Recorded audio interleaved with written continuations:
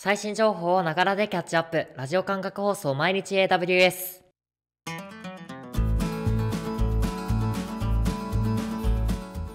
おはようございます。サーバーワークスの菅谷です。3月5日、今日も最新のアップデートを皆様にお届けしていきます。電車に乗りながら、ご飯を食べながら、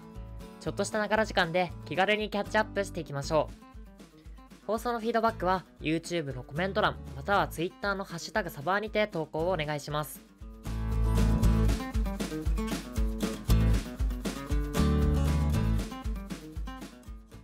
私事でありますが、今度、アレクサスキルビルダースペシャリティを実験します。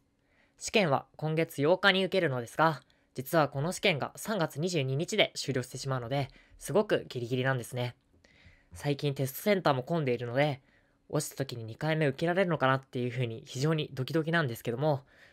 もし来週僕がオープニングトークでアレクサスキルビルダースペシャリティの話をしていなかったら、させていただけると嬉しいです。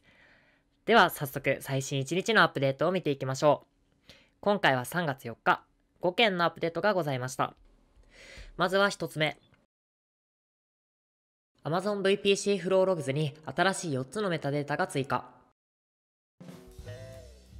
Amazon VPC フローログズが収集するメタデータに新しく4つのメタデータが追加されました。追加された4つのメタデータですが、フローディレクション、トラフィックパス、パケットソース AWS サービス、パケットディスティネーション AWS サービスの4つになっています。それぞれ紹介しますと、まず、フローディレクションはネットワークインターフェースにおいてトラフィックが内部と外部どちらから来たのかその通信の方向を記録します次にトラフィックパスはトラフィックがどのような経路をたどったのかを記録します値には意味を含んだ数字が記載されまして例えば数字の1の場合は VPC 内で完結したトラフィック数字の8の場合はインターネットゲートウェイ経由のトラフィックという風になります最後にパケットソース AWS サービスパケットディスティネーション AWS サービスですが、送信元宛先 IP アドレスが AWS サービスの場合、そのサービス名が記録されます。これらのメタデータを含むログを出力したい場合は、カスタムフローログで作成する必要がございます。既存のフローログはログ形式を変更できないので、新しく作る必要がある点もご注意ください。東京リージョンでもお使いいただけます。今回のアップデートで運用上のオーバーヘッドをかなり減らせると思います。特にクラウドウォッチログズインサイトやアテナとの相性が抜群なので積極的に有効化していきたいですねでは次2つ目 AWS サーティフィケートマネージャー管理下の証明書有効期限が簡単に追跡可能に AWS サーティフィケートマネージャー略して ACM に関するアップデートです ACM が2つの AWS サービスクラウドウォッチメトリックス、Amazon イベントブリッジと連携することで、証明書有効期限の追跡がしやすくなりました。それぞれ紹介しますと、まず、クラウドウォッチメトリックスでは、証明書の有効期限までの日数をメトリックスとして収集できるようになりました。メトリックス名は、Days to Expiry という名前で1日1回収集され、自動的にクラウドウォッチメトリックスダッシュボードに追加されます。ただ、追加されたばかりの証明書だと、すぐにはメトリックスが収集されず、クラウドウォッチメトリックスダッシュボードから見えるようになるまで、若干ラグが発生します。僕が検証した時にここハマってしまったので、皆さんもご注意ください。また、イベントブリッジでは有効期限イベントを発火できるようになりました。イベントブリッジのイベント発火は、デフォルト45日以内の有効期限となっています。それ以上前に発火させたい場合は ACM コンソールの証明書イベントの管理から変更する必要がございますのでご注意ください。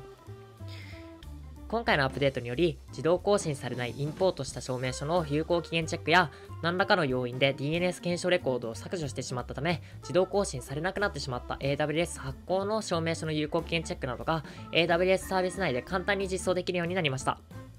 今までは同じようなことをしようとすると、スクリプトを自分で書く必要があったので、より少ない手間で ACM を運用できるようになるのが嬉しいですね。では次3つ目。Amazon Elastic File System が大阪リージョンで利用開始。大阪リージョンで Amazon Elastic File System、略して EFS が利用できるようになりました。EFS を簡単におさらいすると、NFS サーバーのマネジドサービスであり、POSIX 準拠な共有ストレージの機能を提供するサービスとなっています。おととい利用開始となった大阪リージョン、早速サービスが追加され始めましたね。レイテンシーや可用性、対障害性の観点から大阪リージョンを利用したいお客様、たくさんいらっしゃるんじゃないかなと思います。早く東京リージョンで利用できる全てのサービスが利用できるようになってほしいですね。では次4つ目。 FreeRTOS がセキュリティエボリュエーションスタンダードフォア IoT プラットフォームスのアシュアレンスレベル2に認定。 FreeRTOS がセキュリティエボリュエーションスタンダードフォア IoT プラットフォームズ略して SESIP のアシュアレンスレベル2に認定されました。 SESIP とはグローバルプラットフォームにより推進される IoT デバイスのセキュリティ評価基準です。コンプライアンス、セキュリティ、プライバシー、スケーラビリティなどの様々な評価観点を持っていまして、今後 IoT 業界で標準化される可能性の高いセキュリティフレームワークとなっています。 FreeRTOS とはオープンソースのマイクロコントローラー用リアルタイム OS です。エッジデバイスの OS などによく使用されます。基盤となるライブラリーのセキュリティレベルが保証されるメリットは、その上に独自アプリケーションを構築した際に同じ認定を迅速に取得できる点です。今よりももっと今後フリーアルトスが採用されるのではないでしょうか。では最後5つ目のアップデートです。AWS システムマネージャー Ops センターで指定した Ops アイテムに紐づくリソースの関連 Ops アイテムを一括表示できるように。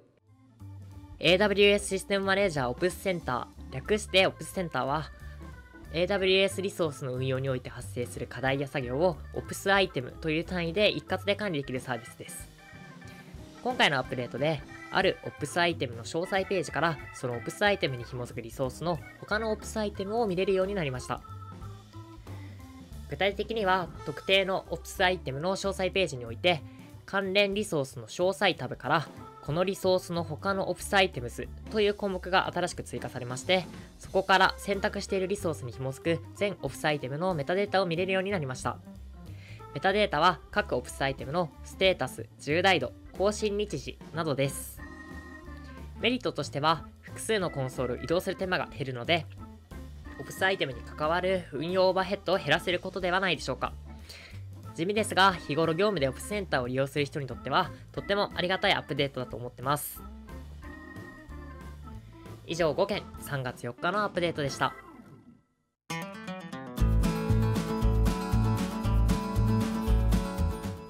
り返しになりますが、放送のフィードバックは YouTube のコメント欄または Twitter のハッシュタグサバーにて投稿をお願いします。